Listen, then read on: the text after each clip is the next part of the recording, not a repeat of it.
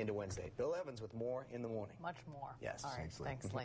well, tonight, a new trend for consumers. It is not all that surprising to hear that nearly half of all Americans are now using their credit cards less. Well, that has forced retailers to become more creative. Many are now returning to an old favorite layaway, and it is on the rise. Consumer Reports looks at whether it can help you land a good deal.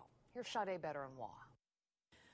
Consumer Reports has tested a lot of things over the years TVs, plastic dishes, even men's socks. And now Consumer Reports Shop Smart is taking a look at a blast from the past layaway. Today you can buy iPods, concert tickets, or even pay for your honeymoon on layaway. You put a bit of money down, pay for your purchase over time until it's paid off, and then in the end, you have your item or take your trip.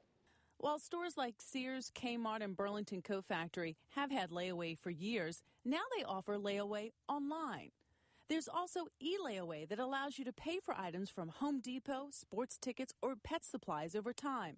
And with layaway travel, you can pay for your vacation with installment plans. A big advantage to layaway is that you don't have to pay interest like with a credit card, but there are drawbacks. Many plans charge a cancellation fee, which can be as high as $150. Some even charge a service fee. And if the store files for bankruptcy, you lose your money.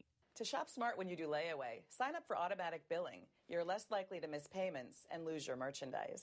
And if you're buying more than one item, be sure to bundle those into one order. That way, if the store charges a service fee, you only pay once. You can also add Toys R Us to the list of big retailers that recently started offering a layaway program. It's called Big Ticket Layaway, and it's available for expensive items like children's furniture, bikes, and doll houses. Sade Baderinwa, Channel 7, Eyewitness News.